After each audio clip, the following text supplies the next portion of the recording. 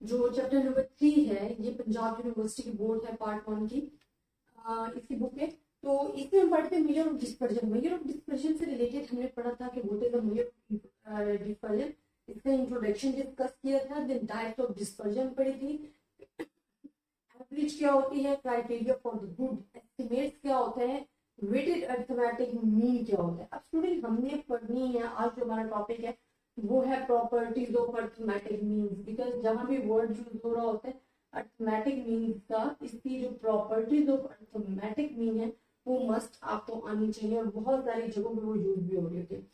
There are the four main property of arithmetic mean first जो हम कह रहे होते हैं, और ये बड़ी इंपॉर्टेंट है बिकॉज़ पेपर में अगर आप देखोगे तो आपके पेपर में प्रॉपर्टीज़ ऑफ़ अर्थमेटिक मीन का क्वेश्चन बार बार रिपीट हुआ हुआ है। और वो थ्योरी में भी रिपीट हुआ है। और थ्योरी के साथ साथ वो आपको प्रूव करने के लिए दे देते हैं कि प्रॉपर्टीज़ ऑफ़ अर्थमेटिक मीन आप बताएँ भी और साथ प्रूव भी करें। तो first property of arithmetic mean जो है वो हमारे पास क्या है कि for a set of data the sum of deviation of the observation from their mean taken with their proper sign is equal to zero मतलब क्या है? अगर आप इसके छोटे छोटे साइन याद रखोगे ना तो आपको जो थ्योरी है वो खुद बनाना आ गई सबसे पहले मैं लिख देती हूँ ये एक्स माइनस एक्स बार अब देखिए, और ये यह इज़ इक्वल टू ज़ीरो हो गया है, ठीक है?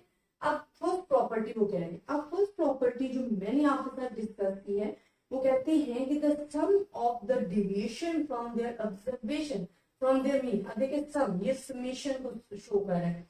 वो कह रहे हैं, जो सम है, वो आपकी ऑब्जर्वेशन से डेविएट करना है आपने मी अपने तमाम ऑब्जर्वेशन को डेविएट करना है माइनस करना है मीन से तो जो वो इक्वलिटी इक्वल आएगा, इसका आंसर वो आएगा इक्वल टू ज़ीरो वही आप, मैं आप थ्योरी में बता रही हूँ कि वो कहते हैं कि the sum of the deviation of the observation x from their mean x bar taken with proper sign is equal to zero कहे कि the sum of deviation of observation from their mean is equal to zero अब अगर इस चीज़ को मैं prove करूँ ठीक है? अगर आपने ये याद रखी है ना तो इजिली आप थ्योरी इसकी डिस्कस कर सकते हो कि सम ऑफ़ डेविएशन हमारे पास the observation from their mean is equal to zero ये आपको समझ में आ जाएगा। अब ये ज़ीरो आता कैसे? देखिए स्टूडेंट अगर मैं समेशन को अंदर अप्लाई कर देती हूँ ये हमें प्रूव करना है ना हमारे पास है एक्स माइनस एक्स बार अगर मैं समेशन को अंदर आ, क्या कर देती हूँ अप्लाई कर देती हूँ दो हमारे पास एक्स एक्स है और एक्स बार है। यहाँ समीशन ऑफ़ एक्स माइनस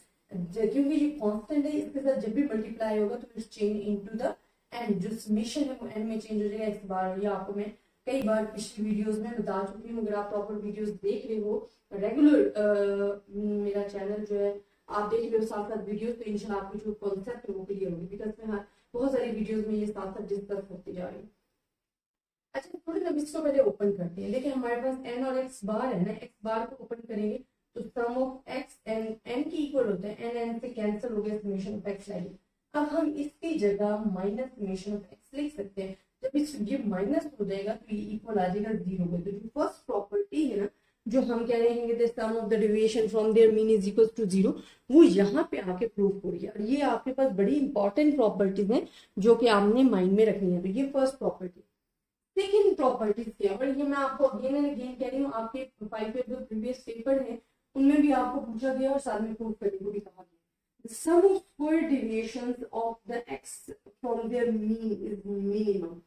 अब ये तो हमने कहा था ना कि sum of x bar mean अगर हम ऑब्जर्वेशन का डिविएट करते हैं फ्रॉम देयर मीन और उसका लेते हैं वो इक्वल टू ज़ीरो आता है। लेकिन अगर हम इसमें स्क्वायर डाल देते हैं तो वो जो हमारे पास आंसर आएगा, वो मिनिमम आएगा, ठीक है? तो हमारे पास क्या आ जाएगा?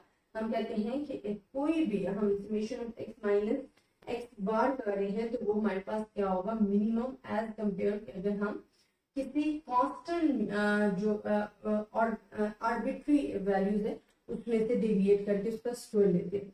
अब हमारे पास ये क्या है कि जो मीन वाली वैल्यू है ना mean cheese sum of square of the x from their mean is the minimum अगर आप ऑब्जर्वेशन का स्क्वायर लेके डेविएट कर रहे हो अपनी मीन वैल्यू में से तो उसका जो आंसर है वो मिनिमम होगा।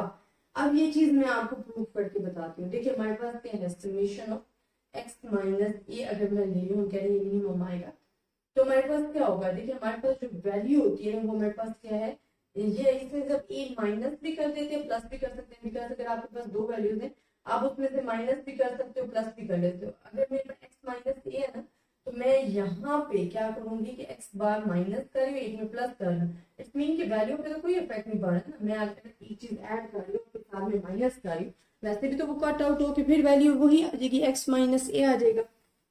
तो यहाँ तक मैंने ये सॉल्व कर लिया। अब हमने क्या अप्लाई करना देखिए, ये हमारे पास ए हो गया, ये आपके पास बी हो गया। आपके पास फार्मूला होता है, जो कि हमारे पास क्या होता है? अगर सेम हो तो a square plus b square plus two a b हमारे पास फार्मूला आ जाता है। ए आपके पास गिवन है बी भी आपके पास गिवन है तो ए की जगह हमने क्या लगा देना x minus x bar square plus b की जगह हमने क्या लगा देना x bar minus a square plus two हमारे पास एक्स माइनस एक्स बार और एक्स बार माइनस ए ये हमारे पास जी वैल्यू आ रही है। अब हमने क्या अप्लाई करना है? हमारे पास बाहर था समेशन तो हमने सम अप्लाई करना है ईच एंड एवरी वैल्यू पे। तो जब आप समेशन अप्लाई करोगे तो यहाँ पे भी आपके पास इसके पास सम आ जाएगा, यहाँ पे भी इस पे सम आ जाएगा। लेकिन यहाँ पे हमारे पास कॉन्स्टेंट वैल्यू है, जिस तरह मैंने आपको पहले बताया था तो ये चेंज हो जाएगा कन्वर्ट होगा एंड और एन आपको पता है कि minimum value equal to zero आ जाएगा। तो ज़ीरो जो हमारे पास है ये फुल वैल्यू को क्या कर देगा? ज़ीरो कर देगा। दो वैल्यूज़ आपके पास ही रहेगी अब यही वैल्यूज़ आप हमने जो कहा था कि अगर इसको मैं दूसरी साइड पे लेके जा रही हूँ ना जितना ही मैंने आपको ये बताया कि अगर हम कोई भी sum of the square division ले रहे हैं ऑब्जर्वेशन फ्रॉम देयर मीन तो वो ऑलवेज मिनिमम आएगा तो ये प्रॉपर्टी भी आपके पास क्या हो जाती है? प्रूव हो जाती है। और हम कहते हैं a is arbitrary value other than the mean ठीक है? जो ए हमने लिखा था वो आर्बिट्री वैल्यू होती है। तो ये तो हमारे पास आ गई है जो दो प्रॉपर्टी ऐसा समटाइम आपके पास आ जाता है। आप ये प्रॉपर्टी मैथमेटिक मीन कर लेते हो, कहते हैं आपको द मिनिमल प्रॉपर्टी तो थोड़ी सी जो सेकंड है ना मिनिमम वैल्यू वाली, इसको मिनिमल प्रॉपर्टी भी कहते हैं तो समटाइम आपसे पेपर में इस तरह पूछ लिया जाता है कि जी मिनिमल प्रॉपर्टी प्रूव करेंगे बहुत ज़्यादा स्टूडेंट्स जो है, वो कंफ्यूज हो जाते हैं। तो आपने कंफ्यूज नहीं होना मिनिमल प्रॉपर्टी इसी को ही बोलते हो आई होप आपको प्रॉपर्टी समझ में आई होगी। अगर आपको फिर भी कंफ्यूजन है, वैसे तो मैंने ये बी एस लेवल के लिए बहुत ही अच्छे तरीके से समझाया हो बिकॉज़ मैंने बहुत ज़्यादा उसको एक्सप्लेन किया हुआ है। लेकिन साथ में मिराजुद्दीन मिर्ज़ा की बुक के लिए समझाया हुआ, ये पंजाब यूनिवर्सिटी की बुक है, उसके लिए समझा रही हूँ। तो इन आई होप आपको ये क्लियर हो गया होगा। थर्ड इसकी जो प्रॉपर्टी है अर्थमेटिक मीन की, वो हमारे पास क्या है? हम कहते हैं कि कंबाइन मीन जो हम कह रहे होते हैं, अगर दो या दो से ज़्यादा मीन हमारे पास है then we are taking the combine mean के सब ग्रुप्स ऑफ़ डेटा कंसिस्टिंग अगर हमारे पास के सब ग्रुप डेटा है consisting n one n two so on n के तक नंबर उसके पास है और ऑब्जर्वेशन है रिस्पेक्टिव उसके रिस्पेक्टिव जो ऑब्जर्वेशन है x bar one x bar two so on x bar के तक है। तो फिर हम कंबाइन मीन फाइंड करते हैं, जिसका फार्मूला हमें याद होना चाहिए और इससे रिलेटेड आपके पास क्वेश्चन भी आ जाते हैं। अब इसके रिलेटेड क्वेश्चन आपको कैसे आते हैं? देखिए, जब आपको ना क्वेश्चन में दो या दो से ज़्यादा बार गिवन होता है ना एक्स बार और साथ में वो वैसे लिख भी देते हैं कि जी हमने कंबाइन मीन फाइंड करना तो उसका फार्मूला आपके पास जो मैं लिख रही हूँ। वो है सिंपल जिस तरह हम फाइंड करते हैं ना जब हमारे पास दो या दो से ज़्यादा जिस तरह मीन फाइंड कर रहे होते हैं तो उसमें एन ले रहे होते हैं। लेकिन यहाँ पे आप एक्स की जगह ऑब्जर्वेशन की जगह आपको एक्स बार गिवन है तो हमने मीन जो है उनको इकट्ठा करके तो कंबाइन मीन फाइंड कर लेना, और ये हमारे पास third property of the arithmetic mean होती है। फोर हमारे पास क्या होती है? जो हम इक्वेशन लेते हैं ना y is equal to a x plus b where a and b are two numbers हमारे पास जो होते हैं तो ये हमारे पास मीन के भी इक्वल होते हैं। जिस तरह हम देते हैं कि हम कहते हैं कि वाई इज़ इक्वल टू ये फोर प्रॉपर्टी आपको बता रहा हूँ हमारे पास ए प्लस बी एक्स अब इसमें वाई के है हमारे पास? डिपेंडेंट वेरिएबल है एक्स पे डिपेंड कर रहा है एक्स इनडिपेंडेंट वेरिएबल है। ए बी हमारे पास स्लोप है ए इंटरसेप्ट है। हम इसको कहते हैं कि जी हमारे पास ये सम टाइम हम बहुत सारे जो हमें जब हम क्वेश्चन भी कर रहे थे, हम ये चीज़ लिखते लिख देते हैं कि जी इससे इक्वल बी होता है। अब ये किस तरह से इक्वल होता है, ये मैं आपको करके बताती हूँ। देखो, अगर मैं ये वैल्यू ले रही हूँ तो इसको मैं क्या कर रही हूँ, वो हमारे पास जो वैल्यूज़ है सम इसको मैं ओपन करती हूँ, हमारे पास sum of y divided by n आ जाएगा। यहाँ हमारे पास ए आ जाएगा plus b sum of x divided by n आ जाएगा। अब हमने क्या करना है कि अगर मैं एन को से इस तरफ़ से मल्टीप्लाई कर देती हूँ तो सम ऑफ़ वाई पास एन ए प्लस यहाँ एन एन से कैंसिल हो जाएगा बी सम ऑफ़ एक्स जो है, वो हमारे पास रह जाएगा।